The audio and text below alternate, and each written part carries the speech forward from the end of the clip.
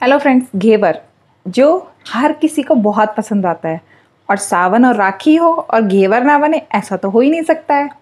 तो फ्रेंड्स मैं मोनिका आपका स्वागत करती हूँ मेरे चैनल माही खाना खजाना में। वीडियो अच्छा लगे तो वीडियो पर लाइक शेयर कमेंट कीजिए। चैनल पर नए हैं तो चैनल को सब्सक्राइब कीजिए। और हाँ बेल आइकन दबाना मत भूलिए ताकि मेरी अगली वीडियो का नोटिफिकेशन झट से आपके पास पहुँच जाए। तो फ्रेंड्स घेवर बनाना बहुत ही ईजी होता है। और खाने में तो इसकी बात ही कुछ और है। यूपी राजस्थान में सावन और राखी पे ये घेवर बहुत ही ज़रूरी माना जाता है। इसी की रेसिपी मैं आपके साथ शेयर करती हूँ। बनाते हैं। घेवर की स्पेशल सी रेसिपी बहुत ही ईजी तरीके से। चलिए शुरू करते हैं अपनी घेवर की रेसिपी को बनाना। आज हम घेवर के बैटर को फेंटेंगे नहीं और ना ही किसी मुश्किल तरीके से बनाएँगे। बहुत ही बहुत ही आसान सी रेसिपी आज मैं घेवर की आपके साथ शेयर करूँगी। तो फ्रेंड्स, उसके लिए मिक्सी हर किसी के घर में होती है। आज हम घेवर का बैटर मिक्सी से बनाएँगे। उसके लिए सबसे पहले हम एक मिक्सी के बोल में चार चम्मच घी डालेंगे। घी आप कोई भी ले सकते हैं वनस्पति ले सकते हैं, देसी घी ले सकते हैं, जिसमें आपका बनाने का मन हो, आप उस घी को ऐड कीजिए।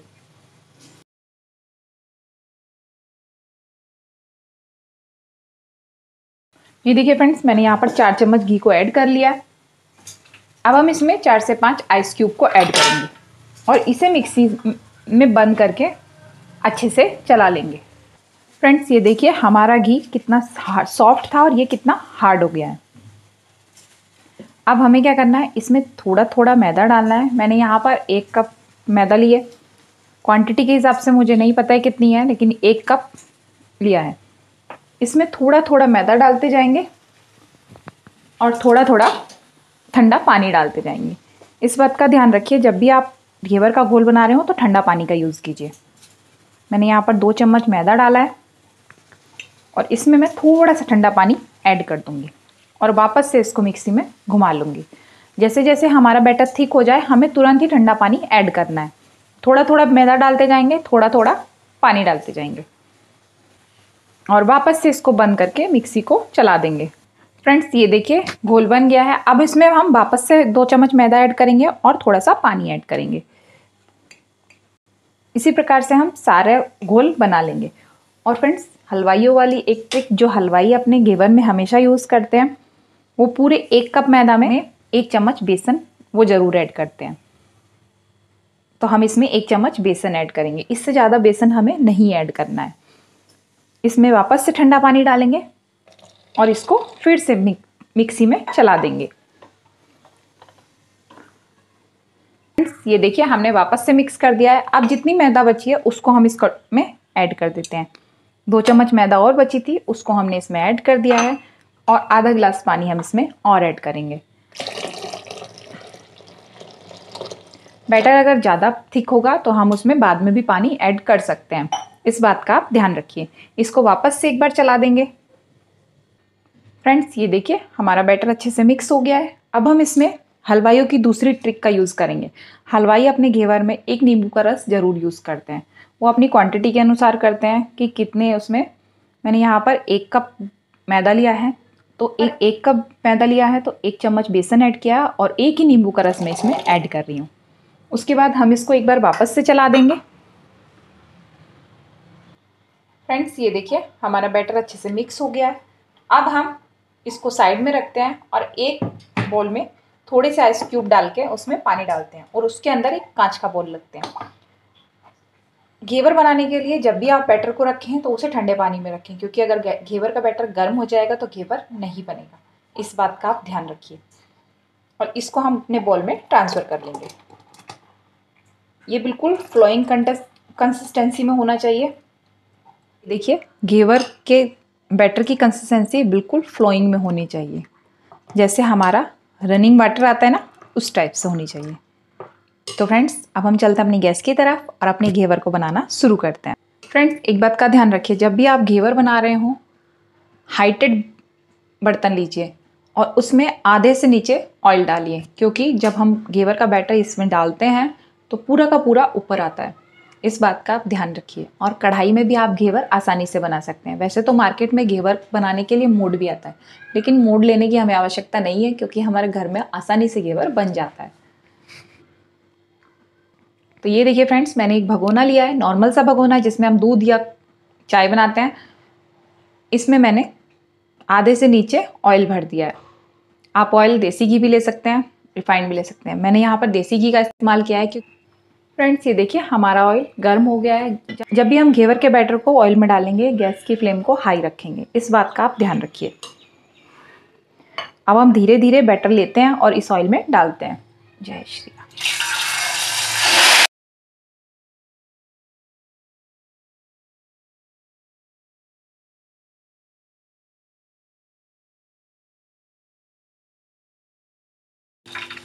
फ्रेंड्स ये देखिए, घेवर बीच में जगह छोड़ चुका है और साइडों में अच्छे से फैल चुका है।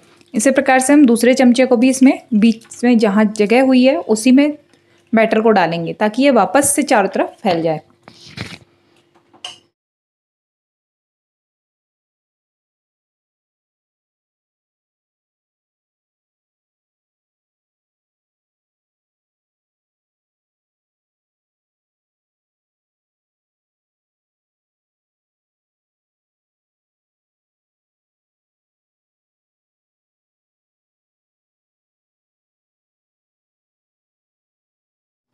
फ्रेंड्स ये देखिए, हमारा घेवर आसानी से बन गया है। अब हम इसको इससे बाहर निकाल लेते हैं। इसको बाहर निकालने के लिए हम क्या करेंगे? चाकू को ऐसे इसमें डालेंगे और धीरे से निकालेंगे। नहीं तो फ्रेंड्स टूटने का डर है। इस बात का आप ध्यान रखिए। फ्रेंड्स ये देखिए, हमारा घेवर बहुत ही आसानी से, बहुत ही शानदार तरीके से बन के तैयार हुआ है। और इसमें जाली इतनी अच्छी पड़ी है जैसे मार्केट के घेवर में पड़ती है। तो फ्रेंड्स इसी प्रकार से हम अपना दूसरा घेवर भी बना लेंगे। फ्रेंड्स, घेवर तो हमारे बन के तैयार है। अब हम करते हैं उनकी रबड़ी की तैयारी। रबड़ी बनाना बहुत ही ईजी होता है। दूध को अच्छे से उबालिए, उसमें चीनी डालिए, हरी इलायची डालिए और रबड़ी तैयार। तो फ्रेंड्स, उसको बनाने के लिए मैंने यहाँ पर हाफ़ लीटर दूध लिया है। इसको हम जब तक पकाएँगे, जब तक ये दूध आधा नहीं रह जाता, क्योंकि हमें घेवर के लिए रबड़ी थोड़ी थिक चाहिए। फ्रेंड्स ये देखिए, हमारे दूध में अच्छे से उबाल आने लगा है। अब हम इसको जब तक पकाएँगे, जब तक हमारा दूध आधा नहीं रह जाता और अच्छे से कढ़ नहीं जाता।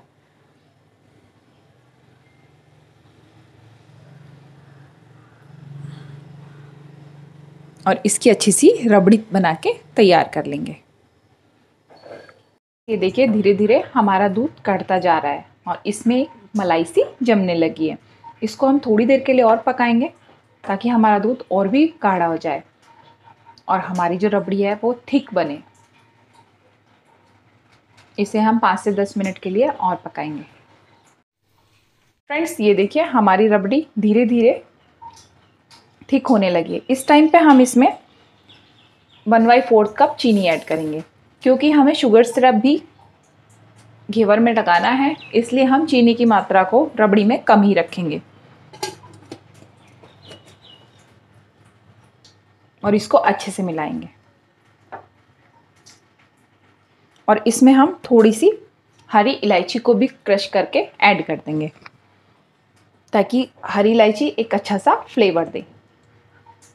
और इसको वापस से पकाएँगे और थोड़ा सा थिक और कर लेंगे।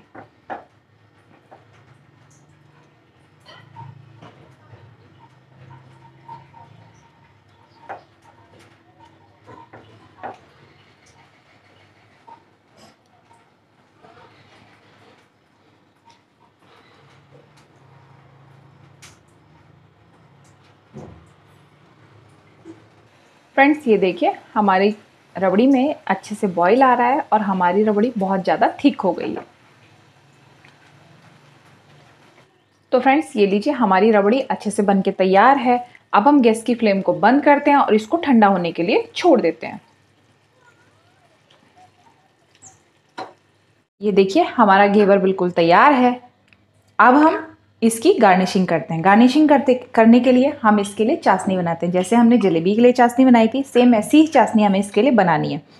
अब हम थोड़ी सी चाशनी इसके ऊपर डालेंगे और चाशनी हमेशा एक तार की होनी चाहिए। ये बात का आप ध्यान रखिए।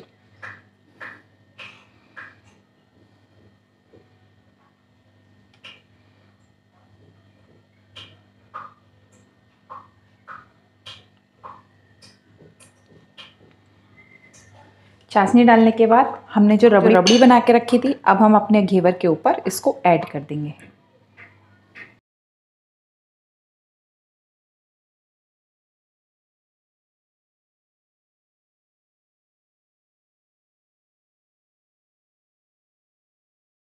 फ्रेंड्स अब हम इसके ऊपर थोड़ा सा पिस्ता ऐड कर देंगे।